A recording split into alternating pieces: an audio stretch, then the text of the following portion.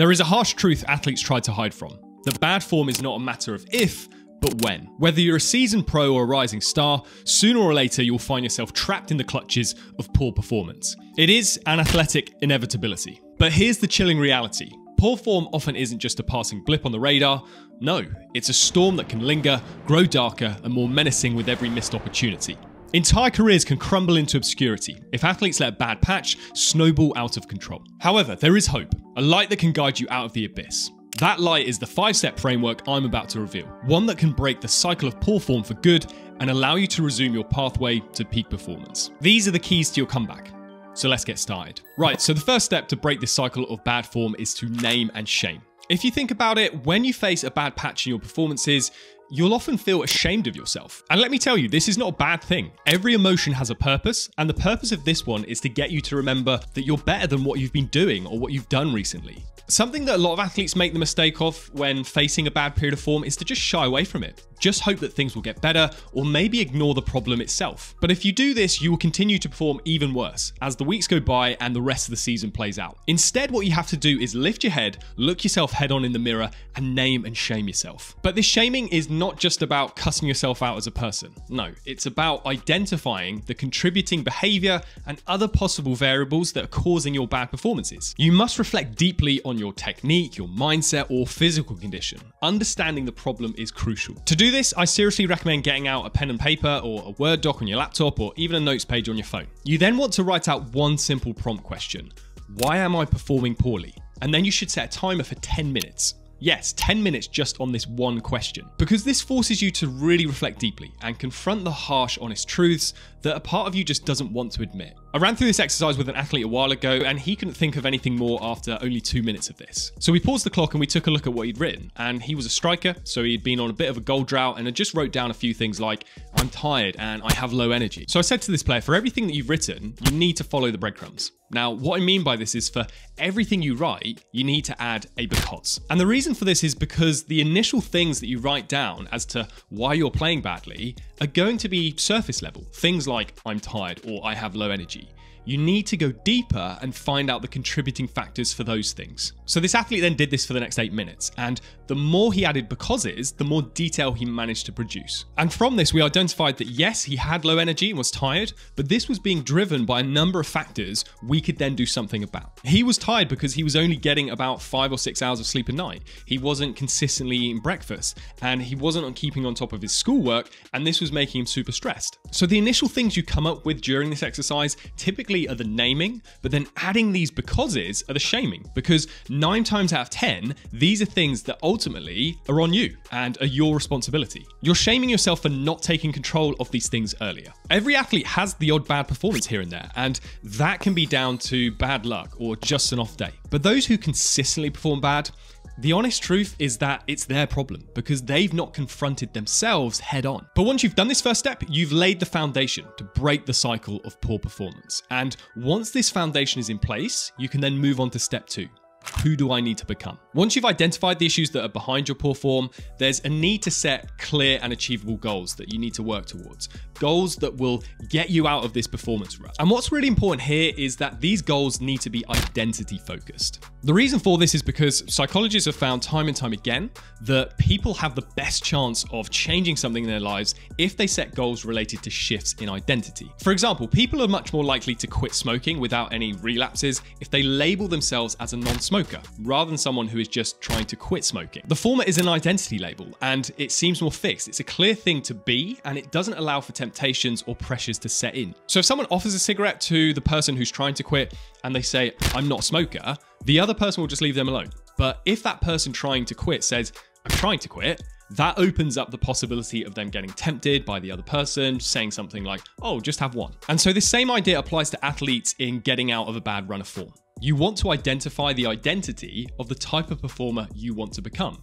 Now, this might be a former version of yourself when you're playing well, or it might be a complete new reinvention into a new type of performer. So, one of the best ways of doing this is to create your own alter ego, which is something I recommend all athletes do. So, it's worth watching the video at the top for a full account on that. But the short version is that you need to create a clear performance identity that encapsulates the very best traits and characteristics that make you 100% confident in your ability to perform perform your absolute best. All fighters have these in boxing and UFC. Their fighter names allow them to go into the ring or octagon completely fearless. So you want to name your alter ego and then list out the types of behaviors and actions that he or she takes. For example, you could be a basketball player and call yourself Trigger because performing your best is about jacking up shots before your opponent can get near you or you're able to pull out passes that no one saw coming. So just think of three to five key things that signal you're performing your absolute best and think about what type of character those things align to. And then when you step into that character, you'll have a newfound confidence to break away from that cycle of bad form and start getting back to your absolute best. But I appreciate if you have a bad run of form, it's not that easy to instantly click into this new identity and believe that you can start dominating again. So step three is an important but often underappreciated one, and this step is breaking barriers. So, what we mean here is that despite working internally to name and shame yourself and then set these identity based goals surrounding your performance, there are, of course, a number of external factors that contribute to your performance. And what you tend to find is that your brain loves to make associations, even ones that can be harmful or problematic to us.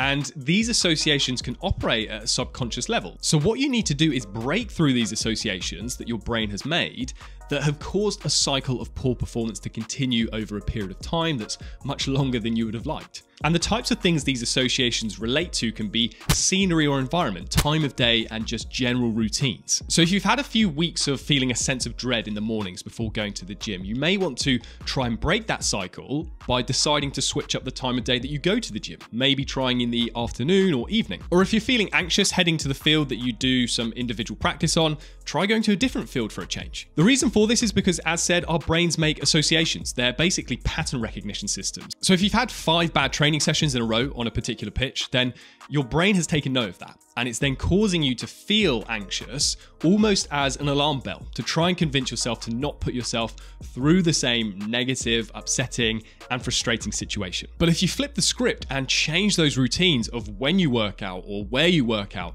your brain can't run the same line of mental code that is ultimately leaving you feel awful about your training and performances. Instead, you're resetting it and giving yourself a fresh start. And when we experience a fresh start, naturally our brains are a bit more switched on and we tend to have a surge in motivation and focus. This is literally called the fresh start effect. Typically, this occurs during what are called temporal landmarks, which are times in our lives that stand out from other unremarkable days and break our normal behavior patterns. It's why people set New Year's resolutions or will look to start new behavior on the first day of the month or just even Mondays. When people make that start, they get this newfound surge of optimism, and everything else bad that's been happening recently just gets easily forgotten. So, to break those mental barriers that are keeping you stuck in a period of bad form, look to carve out a fresh start in some shape or form. As said, this can be training at a different time or place, but but it can also be super simple things like wearing a new workout top or using a new racket or bat or putting on a new pair of boots or cleats. We've all been there, that childish excitement of using or wearing a new bit of kit for the first time. You naturally have this surge in energy and confidence. And this is a great way to break away from poor form and just start the fresh that you're looking for. Something else that will let you start fresh is Podia, who I'm delighted to say are today's video sponsor. If you've had a slump in your business or want to start a new online business, then you must check out Podia. Earlier in the year, I was in a bit of a business slump myself, but since the summer, I've used Podia to have a fresh start. Using just one login into my Podia account, I've been able to build a new website, host and sell my online course, and also let people book in for one to one coaching with me. But one thing in particular I've really loved using Podia for is building more of a relationship with you guys through my weekly email newsletter, Midweek Mindset. Podia's email templates feature is awesome. There's so many different email templates that you can use and then customize to fit the message that you want to share with your audience. In a few simple clicks, you can change everything from the colors, the fonts, and add images so that you can send out something people actually want to read each week. The emails you send look great on all devices, and I also love having the option of just sending myself test emails to make sure that everything is in good order before sending it on to you guys. So if you want to start sharing your message with like-minded people, I'd seriously recommend checking out Podia. You can sign up for free today with my link in the description below. So thanks again to Podia for making this video happen, and let's get back to it. Right, so now you've got a clear picture on what needs to improve, as well as creating the conditions for a fresh start. Step four is now all about deliberate practice. Again, if you've watched me for a while, you'll have heard me bang on about this before, but it's honestly one of the most important concepts any athlete can learn if they want to elevate their game. Deliberate practice is simply practice which is intentional. You're not just rocking up and going through the motions, instead, you're setting clear intentions ahead of time so that your practice can be as focused and effective as possible. So, if you've been as thorough as possible in steps one and two, you'll have a very clear picture of what things you need to work on in your practice that will help you get out of bad form. With these things, you should set a specific target for the amount of reps or the time spent working on a particular skill or drill. So if we look at someone like Steph Curry, the greatest three-point shooter in NBA history, in the heart of the season, Steph is known for putting up 300 shots after every single practice. But it doesn't stop there. During the off-season, he takes it up a notch, increasing his daily shot count to 500. But what's truly remarkable is the method behind this madness. Steph doesn't just throw up random shots, he has a precise plan. He practices three specific types of shots, each designed to sharpen different aspects of his game. First, he hones his spot threes. You'll find him shooting from the same spot on the floor repeatedly, perfecting his long range accuracy. Next, he goes into dribble pull ups, focusing on his lightning fast transition from dribbling to shooting. And this practice just sharpens his quick trigger, a key element of his game that sets him apart from everyone else. And the finishing touch to his rigorous routine floaters.